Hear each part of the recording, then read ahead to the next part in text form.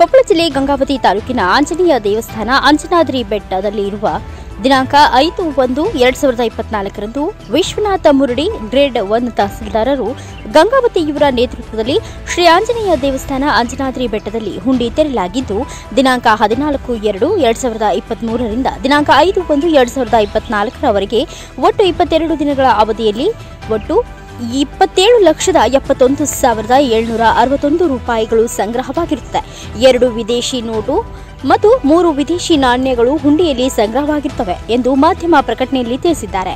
ಈ ಸಂದರ್ಭದಲ್ಲಿ Mahantagouda, grade two ತಹಸೀಲ್ದಾರರು ಶಿರಸ್ತೇದಾರ ಮೆಹಬೂಬ್ ಅಲಿ ಕೃಷ್ಣವೇಣಿ, ಕಂದಾಯ ನಿರೀಕ್ಷಕರಾದ ಮಂಜುನಾಥ್ ಹಿರೇಮಠ್, ಮಹೇಶ್ ದಲಾಲ್, ತಹಸೀಲ್ ಕಾರ್ಯಾಲಯದ ಸಿಬ್ಬಂದಿಗಳಾದ ಗುರುರಾಜ್ ಅನ್ನಪೂರ್ಣ, ಸುಧಾ ಕವಿತಾ, ಹನುಮೇಶ್ ಪೂಜಾರ್, ಮಂಜುನಾಥ್ ದಮ್ಮಾಡಿ, ಗ್ರಾಮ ಆಡಳಿತಾಧಿಕಾರಿ ಮತ್ತು ಗಂಗಾವತಿ ವೆಂಕಟಗಿರಿ ಮರಳಿ ಗ್ರಾಮ ಆಡಳಿತಾಧಿಕಾರಿಗಳು, ಗ್ರಾಮ ಸಹಾಯಕರು ಹಾಗೂ ಪಿಕೆಜಿಬಿ ಸರಣಾಪುರ ಬ್ಯಾಂಕ್ ಸಿಬ್ಬಂದಿಗಳು ಮತ್ತು ಪೊಲೀಸ್ ಸಿಬ್ಬಂದಿ ಹಾಗೂ ಪ್ರವಾಸಿ ಮಿತ್ರರು, ಸಿಬ್ಬಂದಿಗಳು ಹಾಗೂ ದೇವಸ್ಥಾನದ ಸಿಬ್ಬಂದಿ ವರ್ಗ ಹಾಗೂ ಭಕ್ತಾದಿಗಳು ಹಾಜರಿದ್ದರು. ಈ ಕಾರ್ಯವು ಸಂಪೂರ್ಣವಾಗಿ ಪೊಲೀಸ್ ಬಂದೋಬಸ್ತ್ ಹಾಗೂ ಸಿಸಿಟಿವಿ ಕ್ಯಾಮೆರಾ ಹಾಗೂ ವಿಡಿಯೋ ಕಣ್ಗಾವಲಿನಲ್ಲಿ ನಡೆಯಿತು.